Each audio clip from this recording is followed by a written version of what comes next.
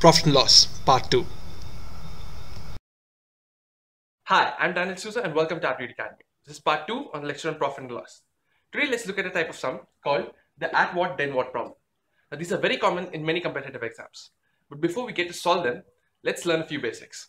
Alright, now to solve these problems you need to deduce some information from the problem statement. Now in my previous lecture, I gave you the example of the soap. Right? Now, I bought it, that is cost price, for 100 rupees, say, uh, let's make it 200 rupees, right? And I sold it for say 180 rupees, right? This is my SP. Now, what will be my loss?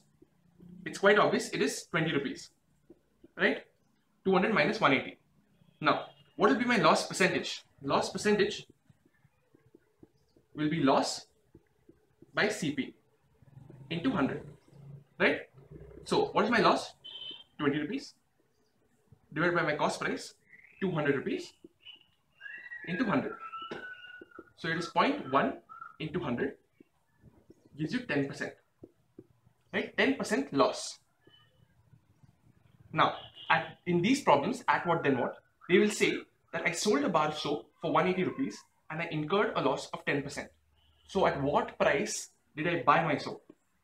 So they will give you 180 rupees at 10% loss. Now, what you should understand is this. Suppose I buy a product, alright, say for X amount of rupees. Right? If I sell it at 100% of my cost price, I will neither get a profit nor a loss. If I sell it for 110% of my cost price, I will get a profit of 10%. Right? Extra 10%. If I sell it at 90% of my cost price, I will have 10% loss. Right? Now, if they're saying that 180 rupees, I've sold it at 180 rupees and I've got 10% loss, doesn't that mean that this is 90% of the cost price? Exactly. So what you do is to get the cost price, divide this value upon 90%. So what you take is 180 rupees divided by 90% or 0.9. If you divide this, you will get 200, which is your cost price. So in general, if your cost price is 100%, now let's see the different scenarios where your selling price will vary. Now, if selling price is 100% of the cost price, as it's the same thing, you will have no profit, no loss, right? Because you're selling a product for the same price what you bought it. So there's no profit, no loss. Now, if your selling price was 125% of your cost price, that means you're selling it for a higher price, right? So you will have the difference 125 minus 100, so 25% profit. Similarly, now here you're selling it for 80% of the cost price value, right? So it is a decreased amount. So you will have the difference 20% loss. All right, let's start our first sum. Problem 1. A person incurs 5% loss by selling a watch for rupees 1140. At what price should the watch be sold to earn 5% profit? Alright, so now the first sum they said that a person incurred a loss of 5% by selling a product for rupees 1140.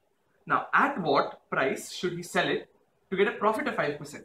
Now, they've said that he has sold his product for rupees 1140 at 5% loss. Now, first of all, it's loss. So that means your selling price is obviously lesser than your cost price. And they've told you by how much percent it is lesser. So you have everything here.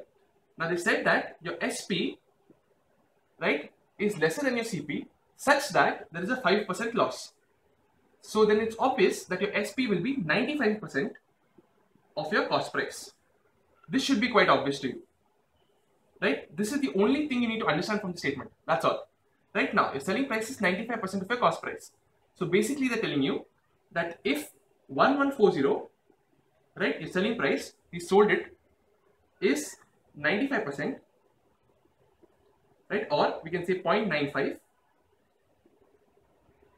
then x is 1.0 or 100%. So what is x? So if you cross multiply, x into 0.95 is equal to 1140 into 1. That's obvious. So now x will be 1140 divided by 0.95. Now I can shift the decimal point by two places and add two zeros. So I shall do exactly that. So 0, 0. Now 5 ones are 4.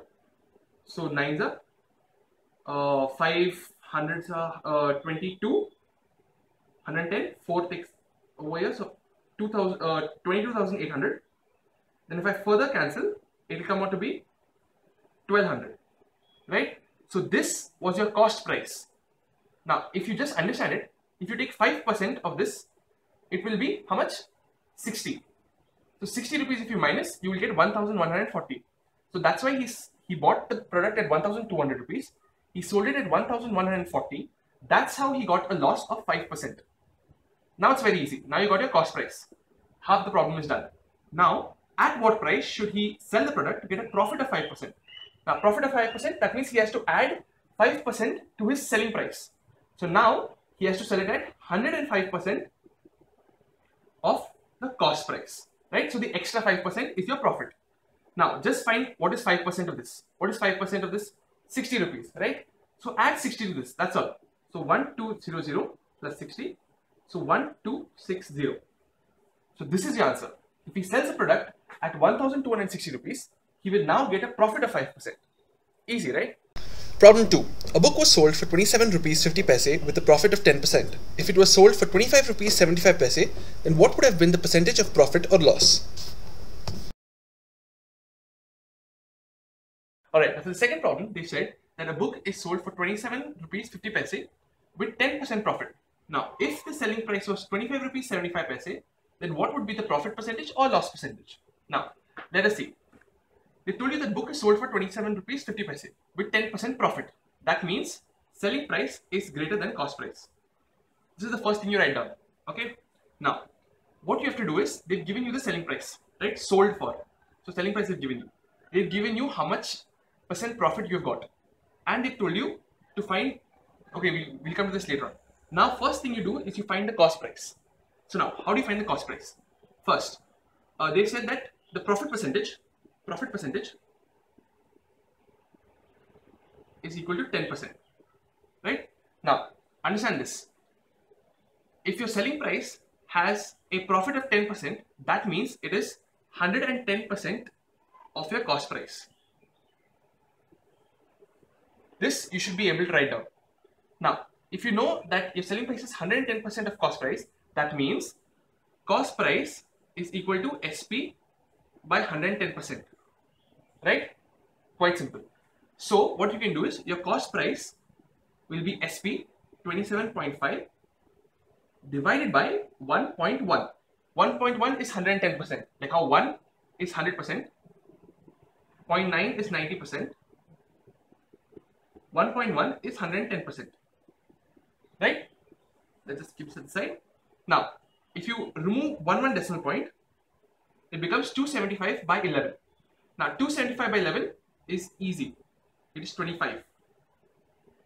Alright, so your cost price is 25.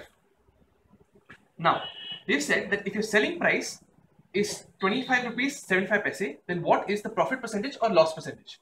Now, right off the bat, you know that your cost price is 25 rupees and selling price is 25 rupees 75 paise. So your SP is greater than CP. Definitely profit. So now, what is profit percentage? It is SP minus CP upon always on the cost price. Cost price is 25 into 100%. So, what is SP? 25.75 minus CP is 25 upon 25 into 100. So, this will give you 0.75 upon 25 into 100. If you solve this out, it comes out to be 3%. So now if you sell the book at 25 rupees 75 paise, then you will get a 3% profit percentage. Easy? Let's go to problem number 3. Problem 3. The percentage profit earned by selling an article for rupees 1920 is equal to the percentage loss incurred by selling the same article for rupees 1280. At what price should the article be sold to make 25% profit? Alright, now problem number three is very interesting. Look at this. They said that if I sell a product at 1920 rupees, the profit percentage will be the same as a loss percentage if I sell it for 1280 rupees. Right? Now, we'll look at the second part of it afterwards. Now, what I'm saying is explained by this. Suppose um, my bar of soap, right, it costs rupees 100. Now, if I sell it for a price that is more than this, right, 110%, uh, 110 rupees, then I will have a profit and hence a profit percentage, right? So this has to be more than the cost price. If I sell it at 90 rupees, then I will have a loss and hence a loss percentage, right? Now, the same thing can be explained like this. Suppose on my number line, right, it's all positive quantities. If the cost, if the price of my article for what I bought it, right, my cost price is say X. If I sell it for any price more than this, I will get a profit. Right? If I sell it for anything less than this, I will get a loss. Now, what are they saying here is that they've given you two quantities. They've said a profit percentage for rupees 1920. So we know that it lies on the right hand side of the cost price. So let's say it lies here, 1920. And they've said loss percentage for 1280. So it lies on the left hand side. So let's say this thing is 1280. Now they've said that the amount of profit, that is profit percentage, and the amount of loss percentage will be the same. So this and this is exactly the same. Right? Now we need to find this thing. Then we can move on to the second part. Now, but we already know that both of these distances are equal. So what we'll do is we'll assign this as some y. Now to reach x, we can either add y by 2 to this or minus y by 2 from this, right? This whole thing is y. It's made up by half y, half y, right? Now, how do we find y? 1920 minus 1280. 0, 0 here. This is 4. This is uh, 360. So this is 640. 640 is y. So what is y by 2? What is half y? y by 2, this is y, this is y. So y by 2 will be 640 by 2, that is 320. So now you either add 320 to 1280 or you minus 320 from 1920, anything, we just add it here. So if you add 320 to 1280, you will get 1600. 1600 is your cost price. So 1600 is your cost price. This is the first part of the sum. Now it gets very easy. Alright, so I'll just rub this out. Right, so your cost price is now 1600. Now you don't have to worry about this at all. Now they're asking you, at what price should the product be sold if I want a 25% profit percentage? right? Now, find out what is 25% of 1600. Now, you already have formulas for this, but I don't like to use the formulas. If you understand the basic concept, you don't need formulas at all. All right. Now, what is 5% of this? What is 1% of this? 1% of this will be 16. Right? What is 5% of this? 5% will be into 5. So 30, 80. So this is 5%. Right? Now, to reach 25, I need to multiply this by 5 again. So 80 into 5 will be 400. So this is 25%. Now, if I want 25% profit percentage, I will have to increase my selling price by this much. So now my selling price will be the cost price plus this profit, what I want. So 2000. This is the answer.